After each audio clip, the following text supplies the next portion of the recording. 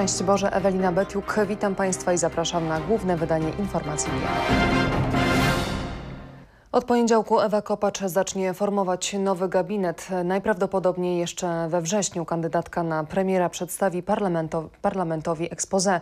Niewykluczone, że Ewę Kopacz na stanowisku marszałka zastąpi obecny szef MSZ-u Radosław Sikorski.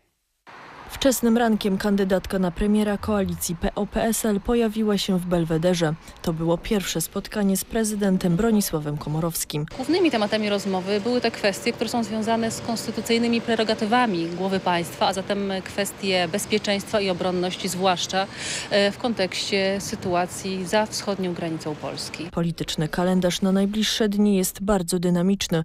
W poniedziałek 15 września prezydent powierzy Ewie Kopacz misję utworzenia rządu rządu. 22 września powołany będzie nowy gabinet. Potem szefowa Rady Ministrów będzie miała 14 dni na wygłoszenie expose. Ewa Kopacz chciałaby to zrobić na specjalnie zwołanym posiedzeniu Sejmu. Ma czas do 6 października. Zmiany personalne w rządowych ławach na razie owiane są tajemnicą. Chciałabym, żeby zadania, które sobie przed sobą postawię, bo przede wszystkim to będą zadania, które będą dotyczyły e, szefa, prezesa Rady Ministrów, e, żeby były realizowane przez kompetentne osoby i pod te zadania będę dobierać kandydatów do poszczególnych resortów. Tak marszałek Ewa Kopacz mówiła w środę. Dziś dodaje, że jako pierwszy nowych ministrów pozna Bronisław Komorowski. Prezydent niektóre propozycje poznał na dzisiejszym spotkaniu. Byłoby sprawą nienaturalną, żeby o tych personaliach w ogóle nie rozmawiać. O swoje stanowiska w nowym gabinecie spokojni są przedstawiciele koalicyjnego Polskiego Stronnictwa Ludowego. Zapewne będzie w rządzie Janusz Piechociński, Marek Sawicki, Kosiniak-Kamysz. Reszta będzie podlegała sporym zmianom. W kuluarach mówi się, że obecny wicemarszałek Sejmu Cezary Grabarczyk mógłby zastąpić Marka Biernackiego na stanowisku ministra sprawiedliwości. Sam zainteresowany wychodząc z gabinetu marszałek Kopacz nic nie zdradził. To, to jeszcze nie jest ten etap. Czekamy do poniedziałku. Cezary Grabarczyk był już w rządzie Donalda Tuska, odpowiadał za resort infrastruktury. Do rządu miałby powrócić również Jacek Rostowski, do niedawna minister finansów. Tym razem ma objąć fotel szefa MSZ-u. Najsłabszym ogniwem nowego gabinetu będzie sama Ewa Kopacz, ocenia politolog dr Aleksander Kozicki. Nowy prezes Rady Ministrów ma a, dramatyczny, uzasadniony deficyt zaufania. E, ten deficyt jest największy e, spośród wszystkich premierów e, poprzez ostatnie 25 lat. Dlaczego? Dlatego, że w sposób publiczny wyrażała opinię co do sytuacji bezpośrednio po katastrofie smoleńskiej z racji zajmowanego przez siebie stanowiska, a informacje te okazały się przynajmniej chybione, jeśli nie fałszywe. Nieoficjalnie mówi się, że Radosław Sikorski miałby zastąpić Ewę Kopacz na stanowisku marszałka Sejmu. Sam Sikorski sprawy nie komentuje. Życzę miłego dnia. Za nieudolną politykę prowadzoną przez politykę zagraniczną, a także za aferę podsłuchową. Sikorski został nagrodzony, będzie prawdopodobnie drugą osobą e, w państwie. To wszystko na razie jeszcze spekulacje, ale zazwyczaj te nieoficjalnie padające nazwiska potwierdzały się w późniejszych już oficjalnych prezentacjach. Co takie zmiany oznaczają dla Polski i Polaków, czas pokaże. Nowy rząd władzę będzie sprawował do przyszłorocznych wyborów parlamentarnych. Sejm głosami Platformy Obywatelskiej SLD i ruchu Palikota odrzucił obywatelski projekt Stop Pedofilii zakładający zmianę prawa karnego. Miał on wprowadzić ochronę dzieci i młodzieży przed szkolnymi deprawatorami. Inicjatywę społeczną poparło swym podpisem ponad ćwierć miliona osób. Sposób traktowania obywatelskich projektów ustaw przez Sejm tej kadencji stał się już rutyną. Do kosza powędrowały projekty w sprawie sześciolatków, aborcji ze względów eugenicznych czy wolnych od handlu niedziel. Tak samo stało się z projektem obywatelskim Stop Pedofilii. Głosowało 39 posłów. Za wnioskiem zagłosowało 264 posłów. Przeciwnego zdania było 169 posłów. Za odrzuceniem inicjatywy była partia Palikota, SLD oraz Platforma Obywatelska. Dalszych prac nad projektem chciały Prawo i Sprawiedliwość oraz Solidarna Polska. Polskie Stronnictwo Ludowe było podzielone. Projekt za niepotrzebny uznał Michał Królikowski, wiceminister sprawiedliwości. Uważam go za e, niepotrzebny ze strony e, czysto legislacyjnej i karnistycznej. Projekt przewidywał karę więzienia lub grzywny za publiczne propagowanie lub pochwalanie podejmowanych przez małoletnich poniżej 15 roku życia zachowań seksualnych. Jedną z organizacji zaangażowanych w tzw. seks-edukację, w dodatku wspieraną przez Ministerstwo Edukacji Narodowej, jest Ponton, przypomniał Mariusz Dzierżawski, inicjator projektu obywatelskiego. Ponton na swojej stronie e, promuje e, jako podręczniki właśnie tej e, seks edukacji wielkie księgi cipek i siusiaków. Wydaje mi się, przepraszam bardzo. Przepraszam. Fragmenty tych publikacji cytowane przez Mariusza Dzierżawskiego spotkały się z ostrą reakcją marszałek Ewy Kopacz. Czy zechciałby pan zwrócić uwagę, tam też są młodzi ludzie na galerii. Marszałek Ewa Kopacz zapomniała, że książka jest skierowana właśnie do dzieci, zauważył Mariusz Dzierżawski. Jeśli chodzi o dzieci, to chciałem powiedzieć, że owe książki, które czytałem, są właśnie przeznaczone dla dzieci. Materiały obsceniczne i pornograficzne można przynosić dzieciom do szkoły, nie można ich cytować na sali sejmowej. Posłowie chronią się lepiej niż e, dzieci w szkole. Zagrożenia dla dzieci i młodzieży nie widzą posłowie Lewicy i Platformy Obywatelskiej. SLD opowiedział się za odrzuceniem tego wniosku w pierwszym czytaniu, między innymi również dlatego, że obecny stan prawny umożliwia karanie yy, karą do dwóch lat, jeżeli ktoś yy, nakłania yy, nieletnich do yy, popełnienia czynów, które są objęte artykułem 200 kodeksu karnego. Ta ustawa jest zupełnie o czym innym niż akcja prowadzona e, pod nią, czyli, czyli zbieranie podpisów. Innego zdania są politycy Prawa i Sprawiedliwości. Sejm dzisiaj wyraził na to zgodę. Wyraził zgodę na działania e, pedofili, na tych wszystkich, którzy e, chcą deprowadzić i niszczyć nasze dzieci. Nic nie szkodziło temu, żeby tą dyskusję przeprowadzić. Jeżeli nawet ktoś uważał, że przepisy są niedoskonałe, że należy je poprawi, popra, poprawić, to był na to czas do pracy w komisjach. Widać obłudę lewicy, która z jednej strony od czasu do czasu podnosi różnego rodzaju przypadki, bardzo naganne przypadki pedofilii, natomiast kiedy są konkretne rozwiązania, które mogłyby chronić e, dzieci, e, to zachowuje się obłudnie. E, Szkoda, że tak się stało, to jest ze szkodą dla naszych dzieci. W podobnym tonie wypowiedział się dr Adam Szafrański, prawnik z Uniwersytetu Warszawskiego. Jeżeli widzimy konkretne zagrożenia, to dobrze jest sprecyzować przepisy, tak aby nie było wątpliwości co do tego, że propagowanie podejmowania czynności seksualnych przez małoletnich poniżej 15 roku życia jest przestępstwem. I do tego zmierzała ta zmiana kodeksu karnego. Zwolennicy zmian w kodeksie karnym zapowiadają kontynuowanie inicjatywy. Rząd nie przewiduje udziału Polaków w operacji wojskowej w Iraku, informuje szef MON Tomasz Siemoniak.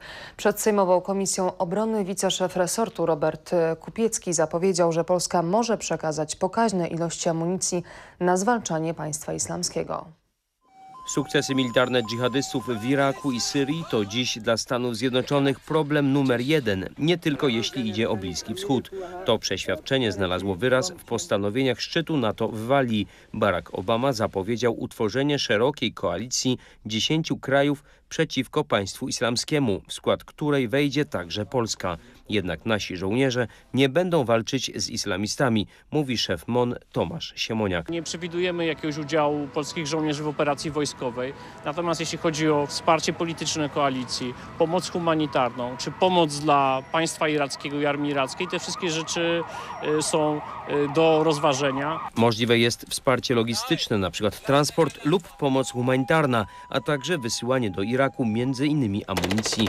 Według danych CIA państwo islamskie może liczyć od 20 tysięcy do 31,5 tysiąca bojowników w Iraku i Syrii. Wciąż docierają kolejni, między innymi z państw zachodnich. Z tego powodu niemieckie władze zakazały działalności na rzecz państwa islamskiego na swoim terytorium. W Polsce na razie takiego zagrożenia nie ma, mówi szef Biura Bezpieczeństwa Narodowego Stanisław Koziej. Granice są otwarte, więc jeśli tego typu zagrożenia i ryzyka gdzieś pojawiają się w Europie Zachodniej, one jest prawdopodobieństwo, że mogą znaleźć się także na terytorium Polski. Póki co nie ma, przynajmniej ja nie mam takich informacji. Istnieją jednak uzasadnione obawy, że islamscy bojownicy, którzy wyjechali z państw zachodnich do Syrii i Iraku, będą wracać do Europy i wcielać tu w życie swoją morderczą ideologię. Ponad 10 tysięcy osób oddało hołd Sybirakom. Ulicami Białego Stoku przeszedł dziś Międzynarodowy Marsz Żywej Pamięci Polskiego Sybiru. Według różnych szacunków w głąb Związku Sowieckiego po 1939 roku wywieziono nawet milion 350 tysięcy Polaków. Jak jechaliśmy na Syberię, miałem 12 rok. I cały czas jechaliśmy. 20 czerwca nas zabrali pod kulami, pod bombami. Cały czas tak nas wieźli. I w wagonie nas, nas, nas było 8 rodzin. Dzieci malutkie, wszystko, prawda. No i, i wody nie było, nic nie było. Wspomina pan Włodzimierz Kostro. Na miejscu warunki były dramatyczne, mówi pani Zofia Sondel. Wywieźli nas aż daleko koło Archangielska. W niesamowitych warunkach. Ja jako malutkie dziecko zostawałam y, w domu, a mama do lasu do pracy. W ciężkich bardzo warunkach umieraliśmy z głodu. Wielu Sybiraków już nie wróciło do ojczyzny. Dziś w Białymstoku hołd oddali im uczestnicy 14 Międzynarodowego Marszu Żywej Pamięci Polskiego Sybiru. Ulicami Białego Stoku przemaszerowało dziś ponad 10 tysięcy osób. Byli to głównie młodzi ludzie, Sybiracy, przedstawiciele Polonii z całego świata oraz mieszkańcy miasta. Wśród nich byli także uczniowie z Wilna. Bardzo się cieszymy, że możemy być w tak ważnym miejscu, poczuć siłę narodu naszego, to co nas jednoczy i ta pamięć, która jeszcze jest żywa, można usłyszeć ją od ludzi, którzy przeszli przez, przez to pieklo na ziemi i że mogą przekazać tą wiedzę właśnie naszym dzieciom. Głębsze poznanie historii naszych, naszych przodków, naszych rodaków. E, No, to, to, to, ta, ta cała tragedia, te wszystkie lagry to są nam bardzo znane, tylko że chcieliśmy e, zobaczyć tak, tak, samych Sybiraków. E, Żywe świadectwo chcieliśmy po prostu chyba usłyszeć. Tegoroczny marsz przebiegał pod hasłem Sybiracy zwycięzcy spod Monte Cassino. Zebrani wyruszyli sprzed pomnika katyńskiego do kościoła pod wezwaniem Świętego Ducha, gdzie sprawowana była Eucharystia, której przewodniczył ksiądz arcybiskup Edward Ozorowski, metropolita białostocki. Marsz żywej pamięci Sybiru zakończył się apelem poległych i złożeniem kwiatów pod pomnikiem, grobem nieznanego Sybiraka.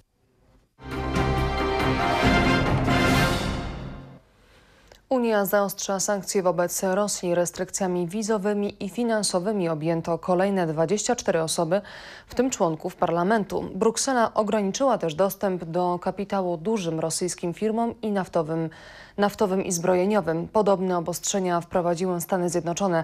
Szef rosyjskiej dyplomacji oświadczył, że podkopuje to proces pokojowy na Ukrainie. Wprowadzenie zapowiadanego od dawna kolejnego etapu sankcji przeciwko Rosji opóźnił rozejm, który od tygodnia obowiązuje na wschodzie Ukrainy. Europejskie lobby przeciwne restrykcjom zyskało istotny argument, nie na tyle jednak silny, by sankcje zablokować. Unia Europejska pogłębia działania w czterech obszarach, w których już w lipcu zostały podjęte decyzje. Mówimy o dostępie do rynków kapitałowych, o sferze obronności, wrażliwych technologiach i towarach podwójnego zastosowania. Restrykcjami wizowymi i finansowymi objęto kolejne 24 osoby, w tym członków Parlamentu Federacji Rosyjskiej. Unia ograniczyła też dostęp do kapitału dużym rosyjskim firmom naftowym i zbrojeniowym. Szef rosyjskiej dyplomacji Siergiej Ławrow zapowiedział, że Rosja zareaguje na nowe sankcje adekwatnie, kierując się przede wszystkim koniecznością obrony swoich interesów. Nowe sankcje z satysfakcją powitał Kijów. Bruksela pokazuje solidarność z Ukrainą. Tak skomentował je prezydent Petro Poroszenko. Ta decyzja świadczy o tym, jak bliska jest Ukraina. Zapadła ona w trudnym dla państw unijnych momencie, ale wspólnota pokazała jedność i solidarność z Kijowem. Jednak o czym świadczą poprzednie sankcje, to narzędzie nacisku na Rosję nie jest skuteczne.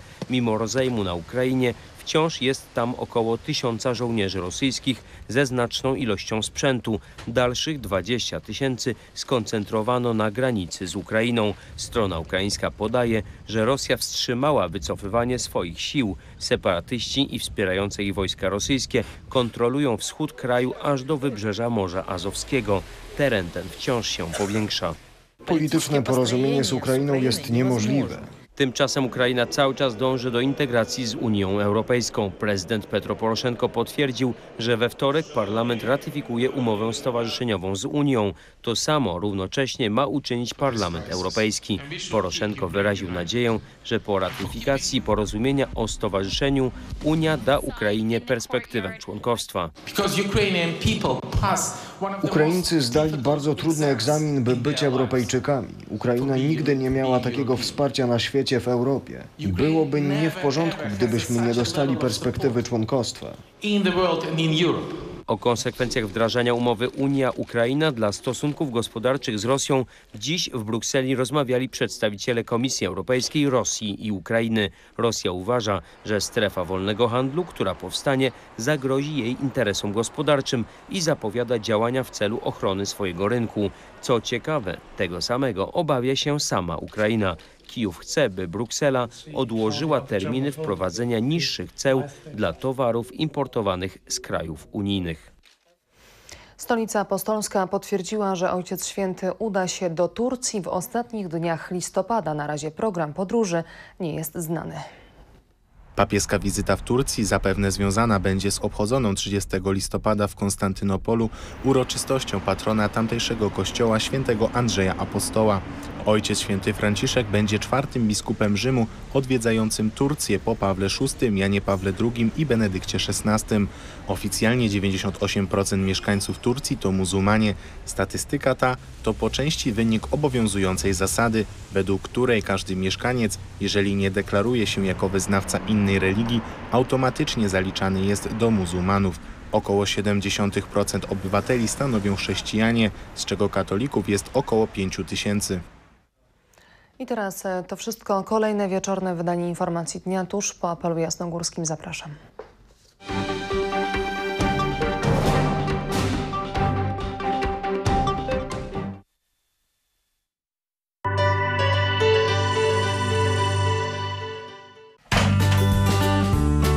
No witaj piesku, no. Co się tak cieszysz? Pewno wiesz, co ci kupiłem, co? No chodź, chodź, dam ci.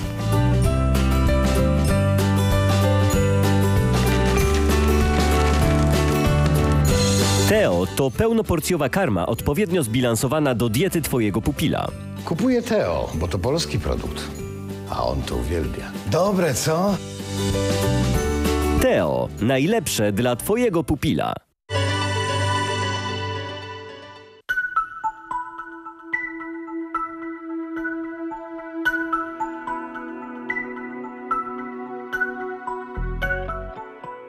Szczęść Boże, Julita Mirecka. Zapraszam Państwa na prognozę pogody. Nadchodząca noc w Europie ciepła z temperaturą bliską 11-15 stopni. Jeszcze cieplej będzie w Atenach, gdzie termometry wskażą 23 kreski powyżej zera. Jutrzejszy dzień nad Austrią i Szwajcarią pochmurny i deszczowy. Na pozostałym obszarze z kolei pogodny. Temperatura maksymalna wzrośnie od 15 stopni Celsjusza w Wiedniu do 26-30 w basenie Morza Śródziemnego. A w Polsce w nocy stosunkowo ciepło, od 12 do 16 stopni. Jutro przed południem na Pomorzu i w południowych regionach kraju dużo chmur i przelotne opady deszczu. Na pozostałym obszarze po ustąpieniu lokalnych mgieł zachmurzenie małe i umiarkowane. W drugiej części dnia więcej chmur na zachodzie, a deszczowo na ziemi lubuskiej, Pomorzu Zachodnim i na zachodzie Dolnego Śląska. W centrum ma także na wschodzie dużo słońca i bez opadów. Termometry wskażą od 21-23 stopni w regionach zachodnich do 25-26 na wschodzie i północnym wschodzie. Wiatr umiarkowany i słaby, głównie ze wschodu. Ciśnienie w stolicy wyniesie około 1020 hektopaskali i będzie się wahać. A jaka pogoda czeka nas w niedzielę? Posłuchajmy. W niedzielę przed południem na Pomorzu i ziemi lubuskiej dużo chmur z opadami przelotnego deszczu. W pozostałej części Polski pogodnie, przeważnie zachmurzenie małe i umiarkowane. Po południu zanik opadów i większe przejaśnienia na Pomorzu, natomiast w rejonie Karpat może popadać. Temperatura maksymalna znajdzie się w przedziale od 21-23 stopni na zachodzie do 24-25 na wschodzie. Będzie wiał umiarkowany wiatr ze wschodu. W tym wydaniu to już wszystkie informacje o pogodzie, jakie przygotowaliśmy dla Państwa. Dziękuję i zapraszam na kolejne tuż po serwisie informacyjnym o godzinie 21.20.